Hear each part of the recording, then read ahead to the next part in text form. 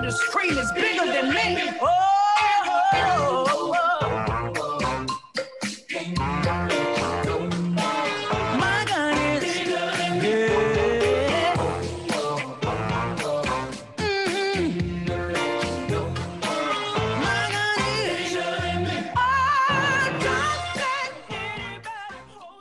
Hello, hello. This is Traci Harrell, and welcome to Bigger Than Me.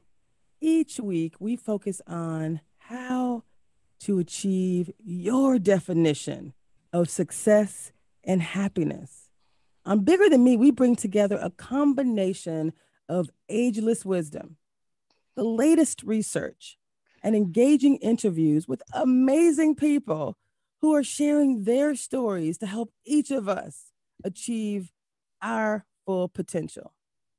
Your journey to transformation begins right now. Let's do this. Oh my goodness. so I am so excited. This is Traci Harrell, and today is, I guess, ladies, we call it the pre launch for our internationally best selling compilation book that's called Ignite Happiness. I am so excited, so very excited to invite some of my other co authors from around the world to join us today. We're going to do a very similar experience. Um, next week as well because the official launch of our book is on August 28th. So today we're going to talk to some of the authors and we're the book is called Ignite Happiness. And, and we've we've spoken to authors before and we, we've we've had conversations around choices and actions to truly ignite happiness in your life. So really that's what we're going to talk about today. It's not just about this this esoteric concept of happiness. We're giving you practical steps of what we've done and what research you know identifies as ways that we can ignite happiness. So I'm going to actually start with someone that was is basically a regular, uh, Miss Sarah. Uh, I'm going to ask you to start us out by first introducing yourself. And you know, the very first question is just tell us who you are, where you're calling from, and what do you do to ignite happiness in your life? Oh, and the, and the title of your story. Hi, Traci. So it's great to be here again. So, my name is Sarah, and I am from the UK. I am currently living in New Zealand. So, my chapter in the book is called Our Crazy Boat Trip. And in that story, I do talk about what, to me, about living in the present, enjoying life, um, seeing life through the eyes of my children, and realizing that there is so much more adventure and excitement to life if we open ourselves up to it. I love that. I love that. We're going to get into each of the stories in a little bit more detail. We're just going to go to the next person. Um, if you can share your um, uh, just your name and let me just do a swipe here. Sorry. Thank you. Kristen, we'll have you next. Um, can you identify your name and the, the introduction questions we shared? Hi, I'm Kristen Kurth Kelzer, and I hail from the Bay Area, the East Bay of San Francisco. And I um, titled my story, When I Stopped Chasing Happiness, Happiness Found Me. Oh, I love that. I love it. I love it. And, what is your passion in life as well? You know, when I think about what I love to do more than anything broadly, I, um, I I'm a nurturer. I'm a kids, babies, animals, you know, anything sweet and anybody that I I can help. Um, so I'm really that's one of my passions. And now I will say, after this Ignite experience, I have a new passion, and it's writing, which has been a Mm, I love that. I- I'm with you. I'm with you. Tanette. Tanette. Did I get that right? Yes. Wh- Where are you from? Give us a little bit about your background, and then again, what what um, what makes you happy? What ignites happiness in you? Okay, I am uh, Taniant Azam, and um, my title of, of the story is The Light in the Tunnel. And what really ignited um, me was that um, even though we are going through the darkest phases of life, there are always, there is always a ray of hope. And we just need to find that light, uh, whether it's through a person, uh, and that person is ourself or if we uh, or the people around us. So we need to find that happiness. It's always there. We just have to look at that and find that happiness for ourselves. My passion in life is to make corporate world more humanistic and more happy okay, you and I are definitely going to have to talk some more about that later. I love that. I truly, truly, truly love that. Oh my goodness. Did I mention that I'm sitting outside in my garden? And my Mhm. beautiful, lovely. So people ask me, is this a fake background? No, these are my babies. 19 lilies. And then and then I, I kind of move things around a little bit. This new plant just like uh, popped up. It's been growing these huge green leaves, but no flowers. And a couple weeks ago, last week, it just created these huge, beautiful, gorgeous flowers. So just to introduce myself, I didn't do that. My name is Traci Harrell, and what ignites happiness in me is really, you know, connecting with nature, right? I love being in nature. I really enjoy, you know, what I consider these divine connections, things that happen that are truly divine, like connecting with each of you. There's no way if I wasn't writing in this book that I would have met 37 women and men from around the world. How exciting is that? So truly, truly divine connections. To, to know that I have literally four books launching in the next six months, maybe five. it's it's divine in so many ways. So I am grateful again to to just be in your presence, and we're going to continue with the some more introductions. So we also have Simona. Simona, where are you from? Okay, I'm from Italy, but I live in Kenya since 2006. And the title of my story is Happiness is a Choice. Mm, And the story is uh, how I got happiness, though I passed in a very difficult moment of my life, uh, very sad, and then how this moment of life turned it in a very good experience because it gave me the light on how to see life and how to live it. My passion, I my passion is life. I think that life is a, an incredible adventure. So I changed place and I live in different parts of the world. I love nature, trekking. I love children. I love giving back. I feel to be a lucky person, not because I'm so rich, but because uh, life has given me so many nice things. And so I love giving back. And I do a lot of community work and a lot of uh, giving back, yes, in different way to communities. I love that. I love that. Ladies, we are launching an internationally best-selling book called Ignite Happiness. How excited are you for that?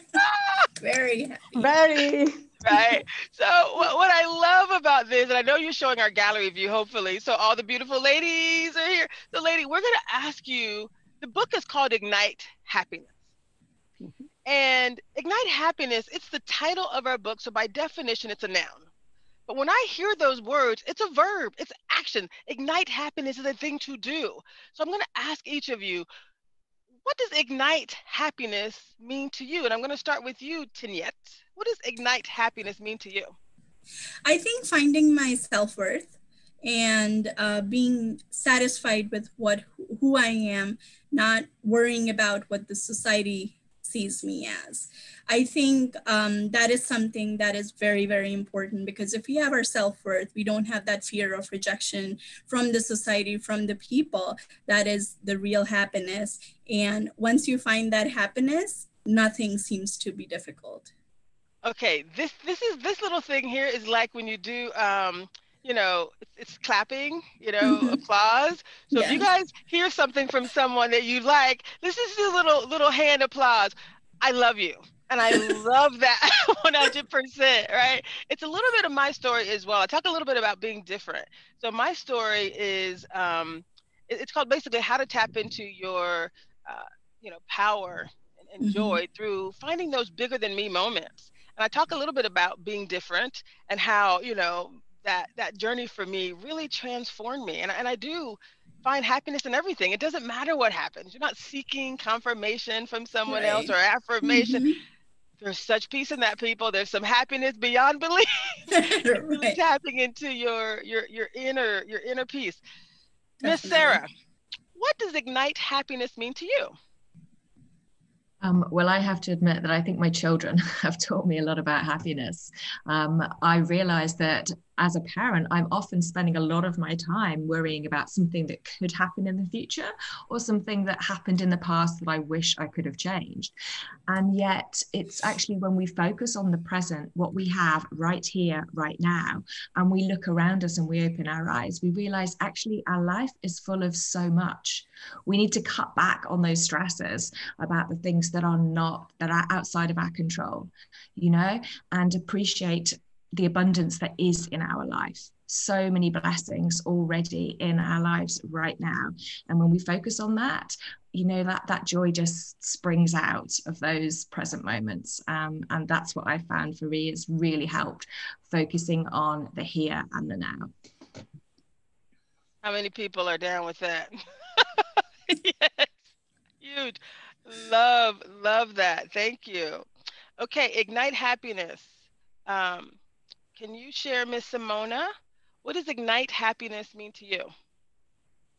To me, ignite happiness means in each and every moment of life to be grateful for what you have and to look at the positive aspect of everything it happens. So gratitude for me is really is a, a daily exercise. You know, when you look at what you have, usually is so much. Sometimes we give it for granted, but it's not. So being grateful is a way to ignite happiness and look at what is positive in each aspect of life, also in that moment, is also a way to ignite um, happiness and positivity. Mm, And this is a very nice receipt because I see also with people I work with, is something that change your point of view. You always look at what is good. Okay, that's good. What happens? Okay, what can we do? How? What lesson can we learn? What is positive in whatever happens? And this one create a lot of uh, joy.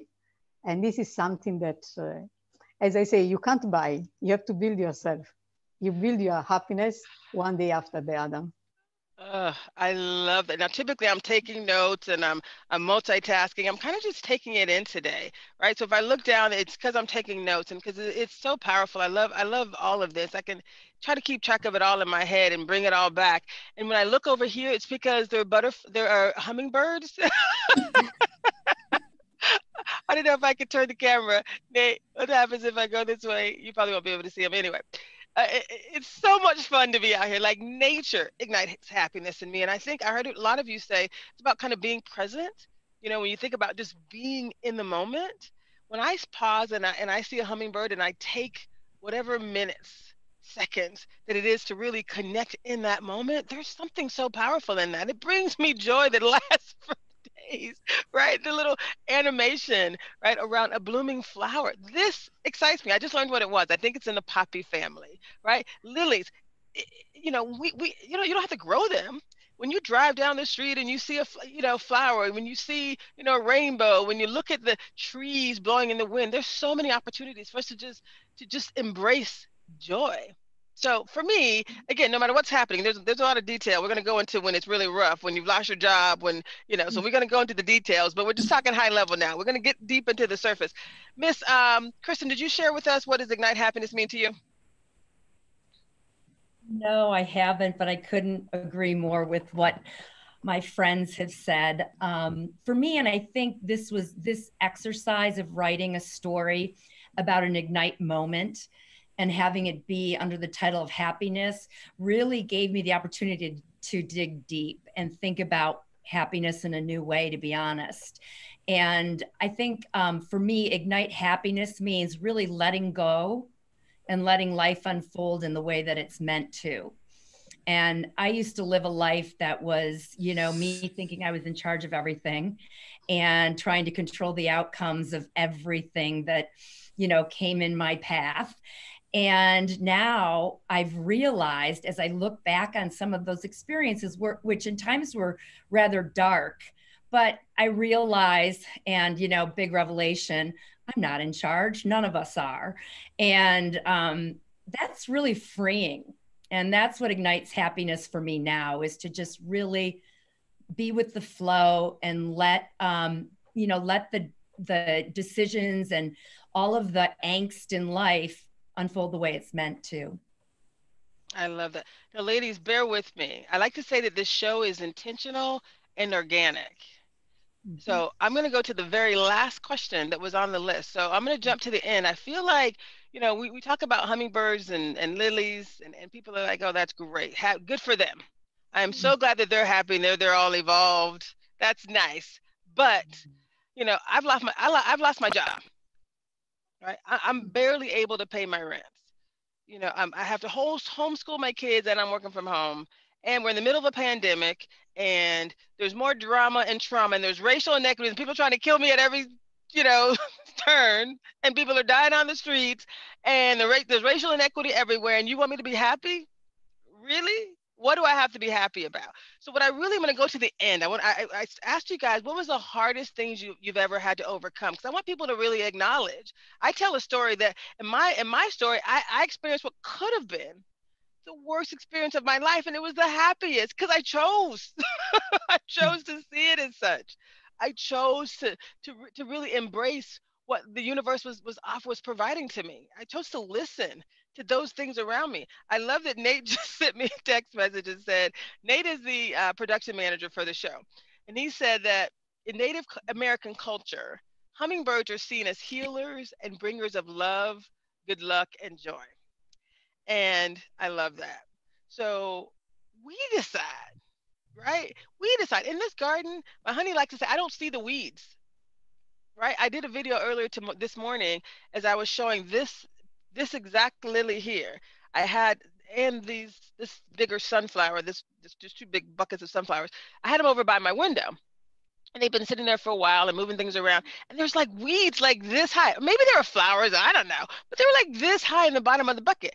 And and and i choose not to see either either they were they looked like flowers to me because they were blooming or whatever. But we choose to see what we want to see. We choose to focus on what we want to focus on. So ladies i need you to tell me about the the hardest thing you've ever gone through. I know some of you said in prior sessions that you wanted to commit suicide and now you're writing in the happiness book right? You you've been you've struggled and now you're at a place where you're you, you realize you know another way. So let's talk to those people who you know want to see a different side of us.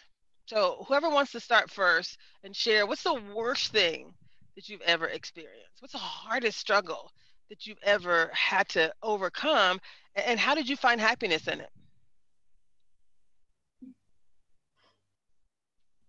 Hmm. That is a really great question, Traci. Um, what springs to mind for me was a job that I was doing um, well over 20 years ago that I was, I'd started off really enjoying it. And then my, you know, like you'd started after a while realizing, what am I doing here? It was one of those jobs where I was, I was cleaning toilets. I was living in a tent. I was doing shifts that meant I had to get up at three o'clock in the morning and I wasn't sleeping at night because I was living in a tent and everyone else would get up when I wasn't, you know, like it was, it was just a crazy thing. And after a while, and, and with this acid and everything, it was eating away at my skin. And one day I just said to myself, what are you doing staying here in this position that you really hate? You know, I'd started off thinking that I would be okay. It was in a, it was in France and I wanted to be in France. But by the end, I just couldn't understand how I was still here and I had to let go and I had no job to go to. I had nobody that I knew in the area. I had no car, I had no mobile phone. You know, it was before that time. So to make that decision to say, I've got to let go to this part of my life, I've got to say, no, it's serving me no longer, was a huge decision. You know, I had nothing waiting for me on the other side. But when I said, and I said to the um, employer, I said, I'm sorry, I can't do this job anymore. I'm not sleeping, I'm not functioning.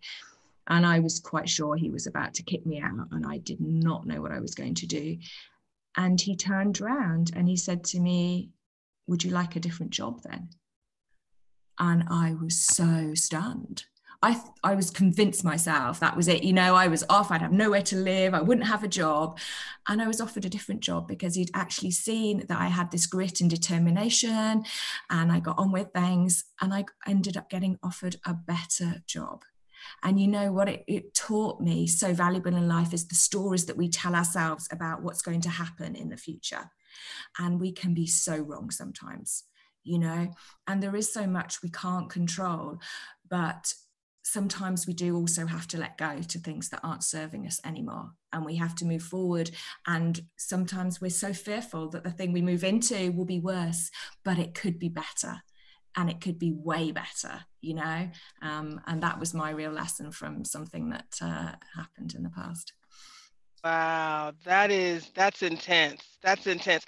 Does anyone else want to share? I know Janice just joined us, but I, I'm I'm going to stay with this this Yeah. tone. And Janice, we're going to come to you so you can see where we're at. Does anyone else want to share? Again, we started out talking about how we're, you know, what what brings us joy, um, the things that that that you know ignite happiness in our lives. You know, little tips on what others can do. But then I asked this group to also tell us, just to clarify, right? We're not just you know living in gardens with lilies and hummingbirds. I mean, that's that's kind of part of it but we've all had some major struggles and we still choose happiness that's the whole that's the beauty of this so i asked you to describe uh, the worst experience that you've had one of the worst experiences and how were you able to ignite happiness does anyone want to share I'll do it.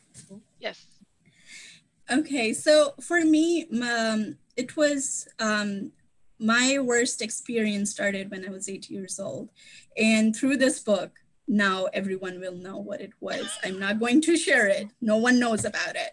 So that dictated 20 years of my life, that one's experience. And um, it took me for a very high achieving student to someone who would barely pass. It took me a lot of time to complete my bachelor's now I'm enrolled in my master's program, but it dictated a lot of things in my life body shaming, and then my engagement um, uh, was broken. Uh, it was a relationship of 12 years. Um, so I think until I was 30 years old, I did not uh, find, I, I thought I was not needed in this world. And I did try to end my life too. But um, for me, when my niece was born two years, three years ago, uh, that's what sparked the life, the light in me. I'm her only aunt on both sides. So, you know, I felt like she's another girl coming in the family, and I need to be an example that no, you cannot just listen to the society and decide what what's good and what's bad. You have to think about yourself. You have to be, you have to find yourself, your self worth, your love, um, and um, you don't have to fear anything.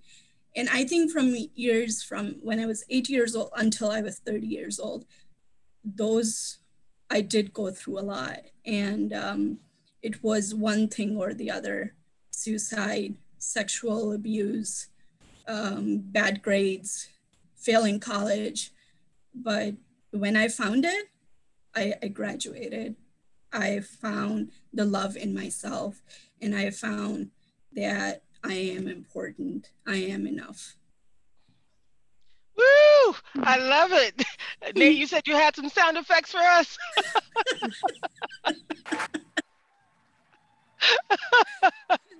I love that. And you know, you kind of set the tone for me, um, Tinyette, because you said you're not going to tell any part of the little the the, the what no spoiler alerts here, no Yes. spoilers.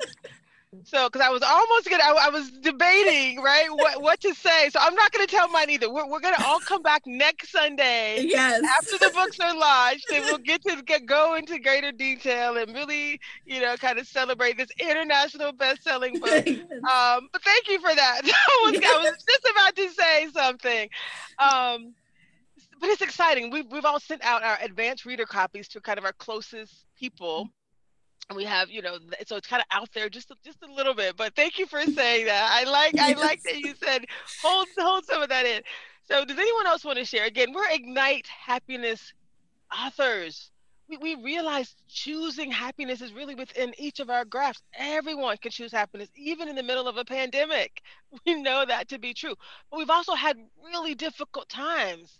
And I can tell you, my most difficult time, something that literally could have broken me, it saved me. It really, it, it- to your point, it allowed me to see, to, to, to tap into my core values, which I, which I, I, I knew, you know, I, I, I live by, but it helped me to realize no matter what the end result is, when you're true to yourself, when you're true to your core values, Mhm. there's such joy in that. Oh yeah. When you like, no matter what happens, it's like you are enough. You Mhm. are more than enough. You Mm. are amazing. For me, it was about being different, but still being amazing. It was about, Mm. you know, not being accepted or the fear of not being accepted, like you said, Sarah. You know, oftentimes the fears we have are greater than, you know, the reality. And so we sometimes try to overdo, you know, like I, you know, I grew up you know, saying that I had to do twice as much to get half the credit. So I always wanted to do five times as much. So I got it all of my credit and then some, right? Like Mhm. I'm gonna make sure I deliver. And when, when when I didn't get what, you know, what I thought should have happened in a couple of situations, you know, it could have been disastrous. But instead I was like, how exciting that I stood my ground. Like, how great was all of that? So, you know, that's one lesson for me. One lesson that I talk about is really happiness is there for the taking. Taking. Um, oh, um, and so does anyone else want to share their worst um, experience? I- I'd be happy to share kind of the first of, first of the worst. I guess, a lot of work. horrible, but how much I've learned in you know looking back and and looking at my own story with mo- more compassion. And this kind of came out during my writing, but um, growing up, things came pretty easily to me. If I set my mind to something, I could achieve it. Um, and I worked really, really hard to do that, but there weren't major, major obstacles along the way. Um, then, you know, going into the work world, I succeeded, um, you know, was very early on in my career doing really well. And then um, had my first child, and that changed everything. I wanted so much to be a mother, and that was meant the world to me. That it took me about a year and a half, but I chucked the big career. I worked part time so that I could focus on my first daughter. Well, my husband comes from a family of 12 kids, and we both wanted more, but um, unfortunately, God had other plans for us. And I think one of the hardest things I've really ever gone through at the, you know, at that, that point in my life was when um, we wanted more kids, and the answer at that point was no. You know, we were told we probably were never going to have any other kids, that we couldn't get pregnant. So we went through, you know, fertility treatment for two to three years. And lo and behold, finally, um, after four rounds of in vitro, we were pregnant with triplets. a little bit more than we had bargained Wow. for, but we were over the moon with gratitude. And unfortunately, we lost one of the, the babies early on in the pregnancy, which was devastating. Um, and we went on to have two beautiful twins who are now 22 years old, Matthew and Madeline, in addition to my daughter, Kit. And now I even have a little one, Isaac, who's seven, and he is um, a joy in our family. But being told no, um, I wasn't going to be able to have more kids. I, I didn't take that very well and I didn't handle it very gracefully. Instead, I fought it tooth and nail until, you know, don't tell me no, I, you know, I'll show you. I'm going to have another kid come hell or high water and worked really hard to get that. And I realized what I exerted so much energy, caused so much more, un, you know, unhappiness in my life and in my world. And if I had just, you know, remained unattached to the outcome at that point, maybe things would have turned out differently. But you know, I couldn't be more grateful for for the four kids that I now have. And the story of Isaac is in my story in our book, and um, I'll share that at another time. I'd love to. But yeah, I think um, challenging infertility was one of the one of the hardest things that I went through early in life. That, that is that is deep. So we just had one of my favorite authors join us, Miss Janice. How are you? We were also glad to see you join us. I'm so excited. I mean, you know, we we we went through this little journey together. You know, I, I uh, Tracy Stone and I joined at the end of the process. So you guys spent more time together than, than she and I did when we came in. But every minute, every session that we spent together, Ah, so beautiful. And I learned so much from each of you. Janice, I got to tell you, you're amazing. So we- we're going to catch you up. We just actually went through one question each. And the first question was, This isn't a background, Janice. This is my garden. That's beautiful. These are my babies. This brings me joy. 19 lilies on one on one stalk. And this is a poppy apparently that just started to bloom. So it's not a background, it's my babies. Thank you for that. Any chance I get to, to lean back, it's fun. So Janice, question number one um, that we asked everyone was basically tell us who you are, where you're from, and um, the you know what's your passion in life, and then tell us your ignite story, the title of your ignite story. Um, okay, so uh, yeah, I am. My name's Janice, and I live in Carlsbad, uh, California. And um, you know, a little bit about me. I uh, I'm a mom. Um, I have five kids, and uh, ironically enough, they're well, the first four are all five years apart. So, um, so my kids uh, are, I have a 28 year old, a 23 year old, a 17 year old, a 13 year old, and a 10 year old. So uh, the forever mom, that's, that's what I am. I, I don't know that wow. I'll ever have a house without some sort of kid inside of it. And uh, um, yeah, uh, Ignite um, you know, for me, an ignite moment, I guess, uh, to to answer your question, there um, is uh, an ignite moment is a divine appointment, and um, you know, the first time I got to meet JB and talk to her, uh, we were talking about a different project, and um, and then I told her a little bit about myself, and and uh, yeah, it's um it's a divine appointment. It's a life altering uh, moment, and uh, it changes the course of your life, and uh, that's you know what my story is about. Um, my story is about uh, um, the the day uh, that I made a decision, and uh, I'm in recovery, and and uh, and I've been in recovery um, for almost 13 years, and uh, you know that's what my story is about: waking up, coming to, and realizing you know that you have five kids. Well, I had four when I got sober, so yeah. You have such a great story. You really do. The, the the interesting thing is we started talking about what ignite happiness mean to me means to us and a couple of us mentioned the same thing. We both talked about feeling divine. There's just something divine about you know igniting happiness realizing that happiness really is ours for the taking. It's a choice. We get to decide. We get to decide how we respond to situations like a pandemic and like losing your job and you know horrible things that happen in life we still get to decide right? And so the, the other question i was asking janice i know you had some interesting um, stories to tell but the other question was really around you know we don't want people to think oh that's great that they Traci's in their garden with lilies and got hummingbirds flying around her that's nice right but i'm over here with all kind of problems again we've all had struggles and some of the ladies have shared already i wanted to ask you it's really the last question that i had on the list but you know, can you define like the one of the worst things that's ever happened to you? What are the worst things and how you were able to get out of it? How you were able to find happiness in it?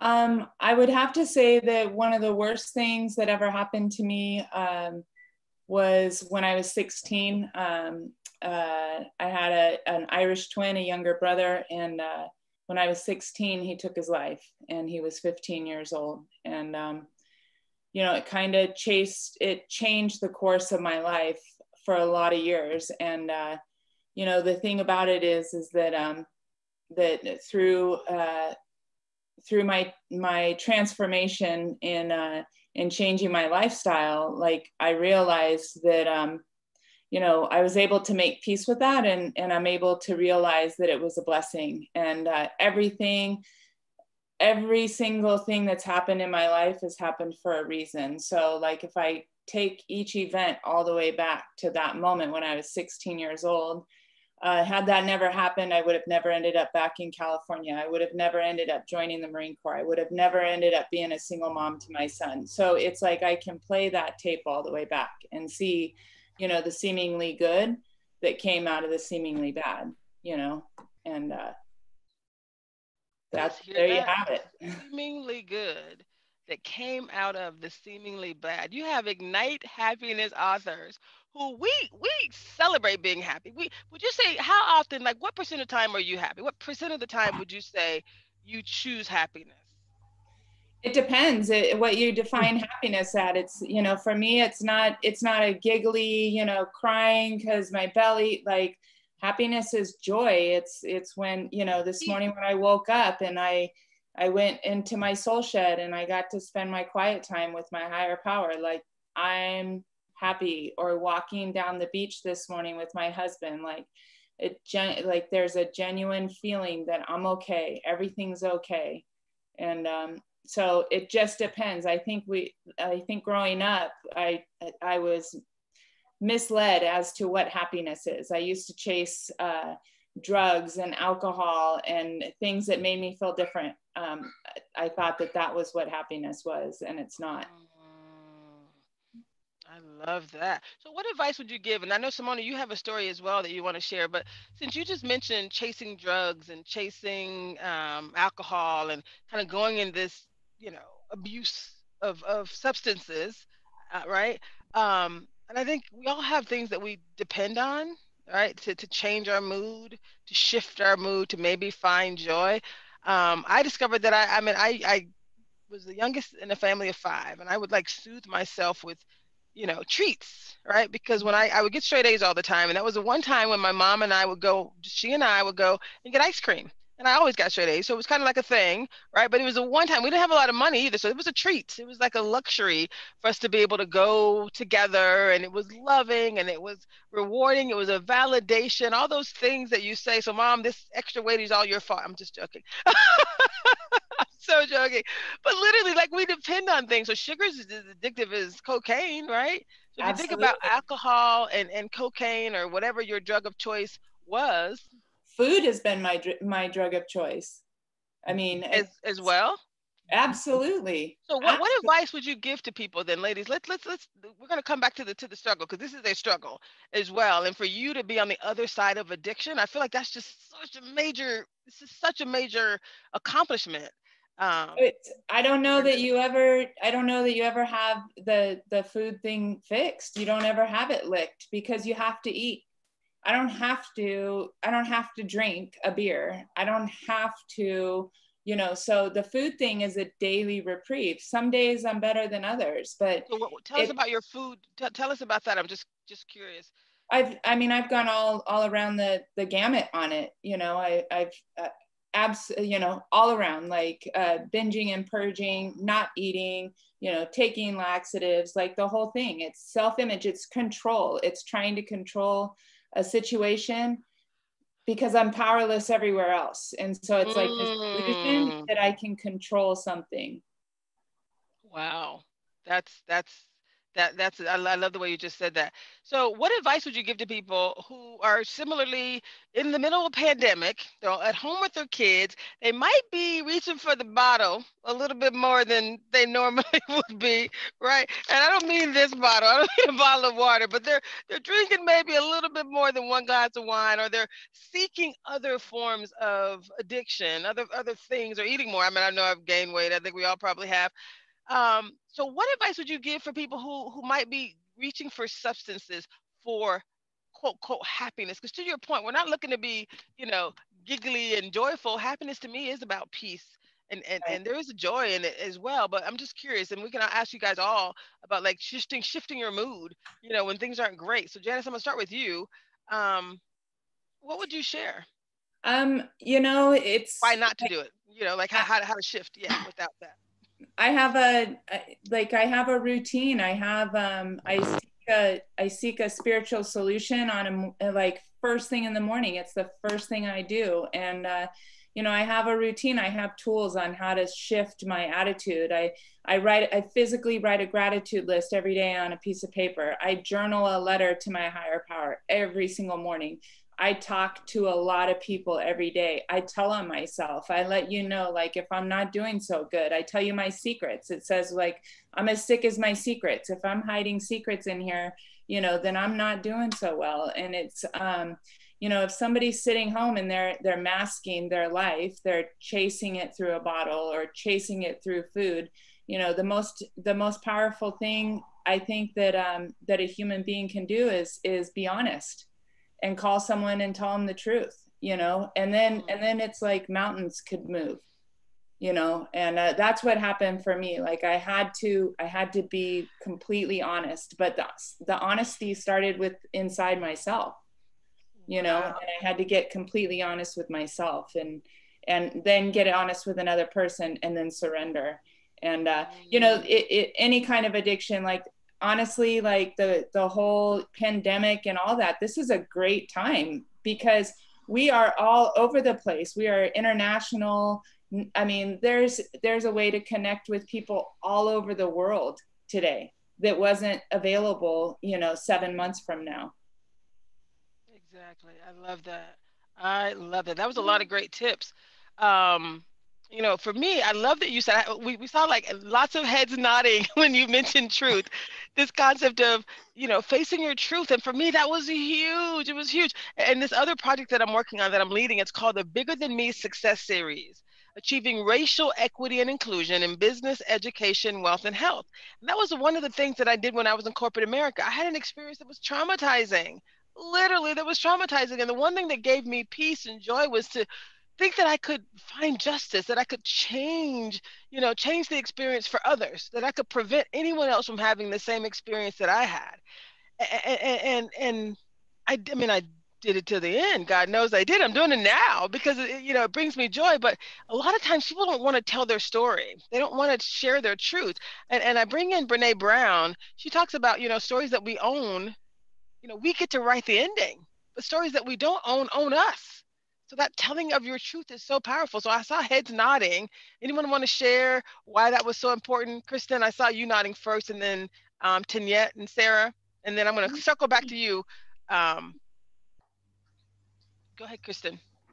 It Why made is me think so of something that I'm sure a therapist mentioned to me. But one of the things that I think people struggle with is that they are never given the opportunity to really take a good long look at themselves. And as some therapist I remember once said to me, you know, you can't see your reflection in running water. And I believe that. And that's why now, and I used to live a very chaotic, frenetic life and ran around like, you know, the hamster wheel all day, every day. And now I've really, another piece of this happiness for me is stillness and serenity. And I crave it now, solitude, because in those moments I can see myself and I can look at myself and I can think about what it is that I am, what it is that I'm struggling with, you know, and I've gotten to love myself more by those moments. So, you know, and, especially now because, you know, I used to say in crazy times, God, please stop the world. I want to get off. And then he stopped it for everyone. I didn't really mean for that. you, you, you're like the third person who said that to me. They're like, Traci, this is me. I think I'm responsible. I asked. to fault. I, I've heard that from a few people. So, so um, Tanya, tell me, why did this concept of truth telling uh, connect with you? I saw you nodding your head when she said that. Yeah, so um, I think when Kristen said about the water, the running water, and you cannot see yourself, in, your shadow in the running water, I think I was letting others write my story. And uh, they were telling me what's the truth and what's not the truth.